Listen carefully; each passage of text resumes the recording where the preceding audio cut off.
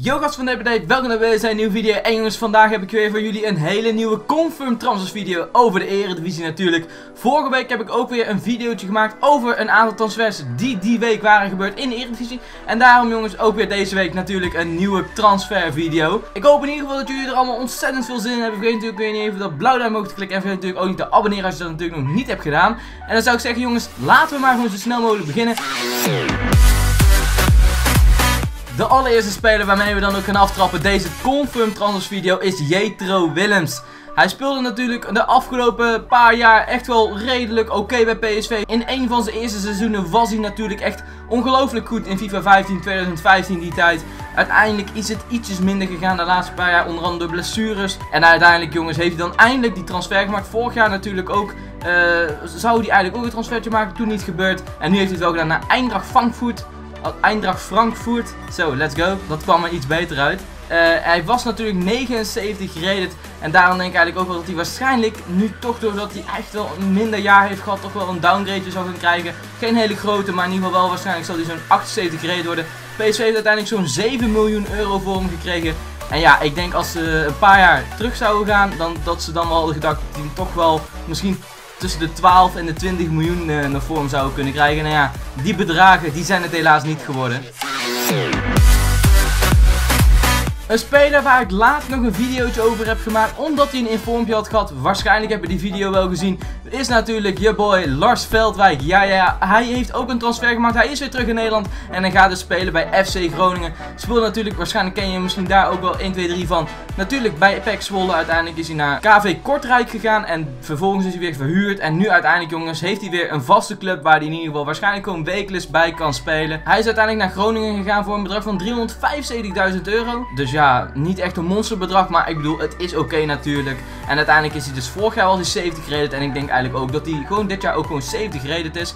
Afgelopen jaar had hij 16 wedstrijden in de competitie ongeveer gespeeld. En uiteindelijk heeft hij daarin 5 keer weten te scoren. Dus ik denk dat hij op zich ook nog wel wat wedstrijdritme heeft. En ik denk dat 70 gereden dat dat momenteel ook wel bij hem past. Een speler die het afgelopen jaar denk niet het makkelijkste heeft gehad is onder andere, jawel, Riedewald. Hij gaat in ieder geval nu van Ajax naar Crystal Palace en wordt daar dus weer herenigd met je boy Frank de Boer. En dat is natuurlijk ontzettend tof om te zien en ik hoop in ieder geval voor Riedewald daar uiteindelijk lekker veel minuten kan maken. En natuurlijk ook op een best wel mooi niveau. In ieder geval, ik bedoel de Premier League, hè, dat is niet niks. Nou ja, hij heeft uiteindelijk zo'n 63 competitieduels gespeeld. Is vervolgens, uh, is hij eigenlijk vorig jaar uit, min of meer uit de basis 11 gezet. Uh, ik bedoel, hij speelde niet meer wekelijks en dat soort dingen kwamen erbij kijken. Maar op de eerste dag van de voorbereiding, toen op die dag, werd hij volgens mij ook al niet blij. Want toen kreeg hij namelijk te horen dat hij in plaats van rug nummer 4, oftewel het rugnummer wat hij natuurlijk vorig jaar ook heeft gehad. En ja, natuurlijk, uh, waar die natuurlijk uiteindelijk naartoe heeft gewerkt. Dat dat in plaats van rug nummer 4 uiteindelijk rug nummer 36 werd. Voor het aankomende seizoen. Nou ja, daar wordt hij volgens mij ook al niet bepaald blij van. En uiteindelijk heeft hij nu dus een nieuwe, ja, een nieuwe transfer. Een goede transfer denk ik ook voor hem gemaakt. Zowel voor Ajax, zowel voor hem. En in ieder geval, ik ben benieuwd hoe hij daar natuurlijk daar bij Crystal Palace gaat doen. Helaas zal hij ook waarschijnlijk een downgrade krijgen van, ik denk toch wel min 1 zoiets. Blijft hij in ieder geval wel koud, dan heeft hij uiteindelijk 75 gereden. Een paar stats natuurlijk ietsjes naar beneden. Riedewald is uiteindelijk naar Crystal Palace gegaan voor een bedrag van ongeveer 9 miljoen euro. En het lijkt op zich natuurlijk wel prima.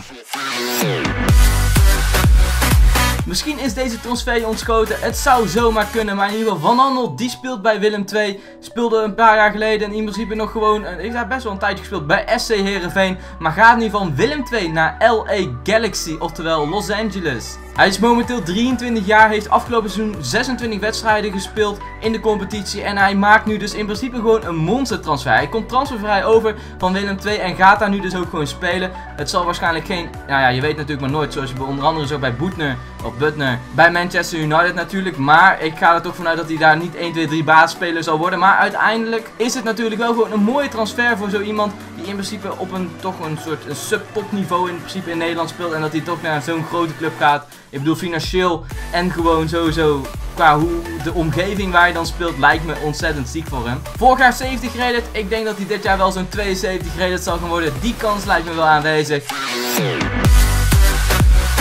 Een oude bekende die we al lang kennen. Want die heeft namelijk ook een paar jaar geleden ook in de Eredivisie gespeeld. Bij onder andere Ajax. En hij is niet teruggekomen naar de Eredivisie. En hij speelt bij FC Utrecht. En dat is Emanuelson. Hij is momenteel alweer 31 jaar. En zat ook dit jaar in principe in FIFA 17. Zat hij ook niet in de game.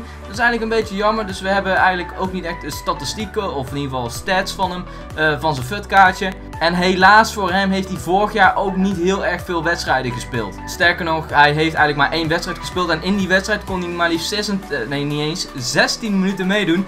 Door onder andere omdat hij heel veel blessures en allerlei dingen zaten daaromheen. Dat is een beetje jammer voor hem. En nu uiteindelijk kan hij zich hopelijk in ieder geval weer gewoon volledig focussen op het voetbal. In FIFA 16 was hij 75 gereden. En omdat hij eigenlijk het laatste jaar niet heeft gespeeld, denk ik wel dat er een pittige downgrade voor hem aankomt. Uh, dat komt onder andere omdat hij blessures en zo heeft gehad. Echt irritant voor hem natuurlijk. Maar buiten dat denk ik zo dat hij waarschijnlijk zo'n 73 rated zal gaan worden. Dat is uiteindelijk nog gewoon een prima rating natuurlijk voor een club als FC Utrecht lijkt me. Ja, het zal eraan liggen 72 of 73 rated daartussenin waarschijnlijk. Maar we zullen altijd moeten afwachten of dat hij het uiteindelijk ook echt maken. Hij komt overigens wel transfervrij over, dus het heeft Utrecht indirect natuurlijk niks gekost. Een speler die bij PSV misschien nog wel het beste heeft gepresteerd als je keek eigenlijk naar de meeste spelers toen in het team. Dat is misschien toch wel Marco van Ginkel. Hij is in ieder geval teruggekomen. PSV heeft hem namelijk weer voor een jaar, deze keer een jaar. Normaal was al een half jaar, maar nu voor een heel jaar gehuurd van Chelsea. Een koopoptie was helaas niet mogelijk. Want dat qua salaris en uiteindelijk de transfersom was gewoon helaas te hoog. Zoals ik ook al eerder aangaf, ik wil eigenlijk het liefst zien dat natuurlijk Eredivisie clubs gewoon spelers kopen. Maar goed, zoals in de meeste gevallen eigenlijk kan het gewoon niet anders. En ook bij PSV in dit geval wordt het uiteindelijk dan huren. Ik ben in ieder geval heel erg benieuwd hoe hij het aankomend jaar gaat doen. Hij heeft nu een jaar de tijd dus om zich volledig alleen maar op één club te focussen. En niet eerst op Chelsea en dan in één keer nog even bij een andere club aansluiten. Oftewel de laatste paar jaar dus PSV. Maar goed, we zullen zien hoe het valt. Ik denk uiteindelijk wel dat hij een upgrade zal gaan krijgen. En dat zal waarschijnlijk ook een van de weinige spelers zijn van PSV. Als ik keek naar hem, in ieder geval hoe hij in het veld heeft gepresteerd. Dan zal hij waarschijnlijk zo'n van zo'n 77 gereden naar zo'n 78 gereden gaan. En dat lijkt me op zich ook wel gewoon een prima en ook niet al te hoge upgrade voor hem. In ieder geval jongens, ik hoop dat jullie deze video tof vonden. Vergeet niet even op dat blauw duimpje te klikken. Vergeet natuurlijk ook niet te abonneren. En als je nog een andere transfer hebt of iets anders over de ratings misschien, ik zou zeggen laat het natuurlijk weten. En dan zie ik jullie graag in ieder geval terug de volgende keer weer. Later gasten. Yo.